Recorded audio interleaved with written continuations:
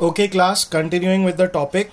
Properties of acids and bases now we again see again the word neutralization so please class acids bases and salt chapter में neutralization reaction is one of the most important reactions जिसकी study हमको बार बार करनी पड़ रही है उसके पीछे reason ये है because this is one of the most descriptive reactions that we go through क्योंकि ये reaction में हमको अब in detail देखना है कि क्या हो रहा है तो हमने यहाँ पे definition लिखा है the process due to which hydronium ions of an acid react completely or combine with the hydroxyl ions of a base to give salt and water only तो ये डेफिनेशन है। प्लीज़ आप इसे ध्यान से पढ़िएगा। हमने फिर से general reaction acid plus base gives you salt plus water यहाँ पे सिर्फ़ हमने आयंस को बताया है। H plus C L minus plus N A plus N O H minus if you look carefully over here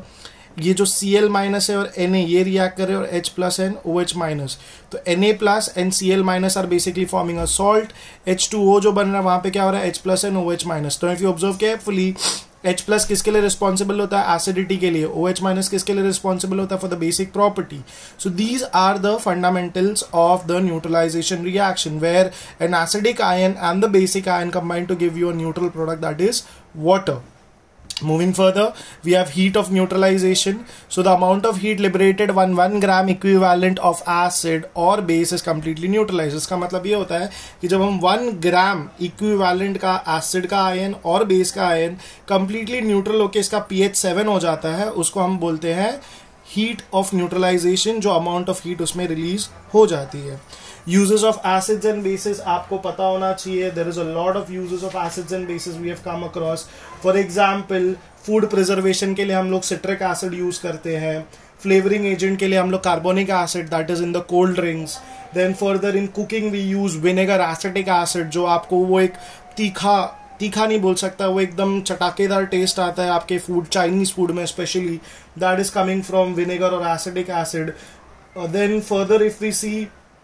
जो हम यूज़ करते हैं आई वॉश के लिए, उसके अंदर यूज़ होता है boric acid and similarly if you come across bases then bases are basically example sodium hydroxide is use for manufacturing of soap फिर बाद में ब्लीचिंग पाउडर जिससे हम बेसिकली जो लॉन्ड्री में सबसे ज़्यादा यूज़ होता है फॉर वाइट क्लोथ्स उसमें हम यूज़ करते हैं कैल्शियम हाइड्रोक्साइड फिर कैल्शियम हाइड्रोक्साइड का दूसरा यूज़ होता है to convert hard water into soft water so these are basically the uses of acids and base तो इसके लिए प्लीज़ आप अपनी, जो मैंने अभी आपको बोला है, उसको आप लिख लीजिए.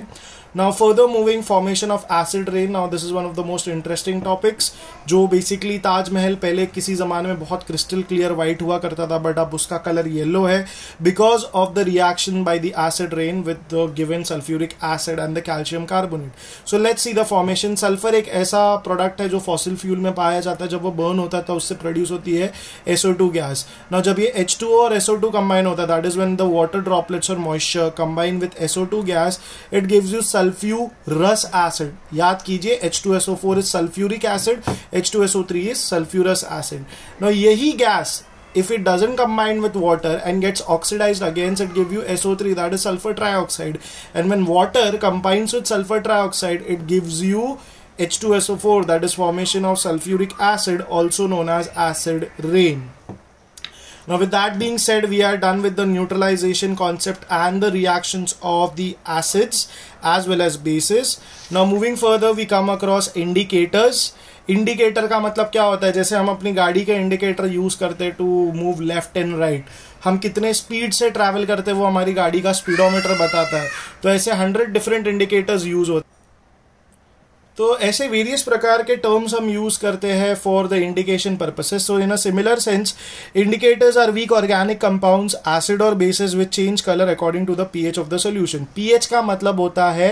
पावर ऑफ़ हाइड्रोजन इसको जर्मन में बोला जाता है पोटेंस हाइड्रोजन दैट इज़ कितना amount of hydrogen ion present है? और ये इंडिकेटर काम कैसे करते हैं? दे डिसोशिएट स्लाइटली मतलब थोड़ा सा डिसोशिएट होते हैं टू प्रोड्यूस आयन्स और molecules that will react with the H plus और the O H minus ions and the colour that is जो कलर प्रोड्यूस होगा, वह इंटायरली किस पे डिपेंड करता है? एच प्लस के कॉन्सेंट्रेशन पे. Coming back to the term P H value यहाँ पे चीज़ें थोड़ी साइंटिफिक होने वाली तो प्लीज़ अपना ध्यान रख थोड़ा फोकस रखिएगा। The concentration of H plus ions and O H minus ions is ten raise to the power minus seven moles per decimetre cube decimetre cube का दूसरा सिंपल फॉर्म है litre so what they are trying to say अगर मैं H two O लू और उसे dissociate करूँ तो मुझे H प्लस मिलेगा, एक certain concentration that is ten raise to the power minus seven as well as O H minus भी कितने टर्म्स में मिलेगा? Ten raise to the power minus seven तो K W that is ionic product of water अब यहाँ पे H plus का concentration कितना है? Ten raise power minus seven ions O H minus भी कितना है? Ten raise power minus seven ions ना आयोनिक प्रोडक्ट ऑफ़ वाटर मतलब टोटल कितना आयंस डिसोशिएट होकर बनेंगे? H प्लस और ओ एच माइनस को ऐड करेंगे तो ten raise power minus seven and minus seven तो आपका स्केल कहाँ तक पहुँच जाता है? माइनस फोर्टीन तो यहाँ से आपको एक चीज़ अपने दिमाग में रजिस्टर करनी है कि जो पीएच की स्केल है वो ज़ीरो से फोर्टीन तक जाती है। Now you know the reason why it goes up to fourteen because H plus के आयंस भी सेवन पार्ट डिसोशिएट होते हैं ओ एच माइनस के आयंस भी सेवन पार्ट डिसोशिएट होते हैं। तो ओवरऑल डिसोशिएशन फैक्टर जो स्केल ऑफ़ डिसोसिएशन है दैट इज़ अप टू 14 अब यहाँ पे लॉजिक क्या देखना अपने को कि अगर पी एच सेवन है तो कंपाउंड न्यूट्रल है मतलब एच प्लस और ओ एच माइनस का कॉन्सेंट्रेशन सेम है। That is water the daily water that we drink is neutral in nature अगर P H less than seven है मतलब वो एसिडिक है मतलब एच प्लस का concentration is more than the O H minus and P H if it is more than seven that means it is basic मतलब O H minus ion का concentration is more then the H plus so I just move around this thing indicators pH value क्या होता है, कैसे होता है, ये देख लीजिएगा आप। फिर बाद में properties of acid and bases neutralization reaction you can pause the video and look at it now we are going to see at what it is do we mean by the pH scale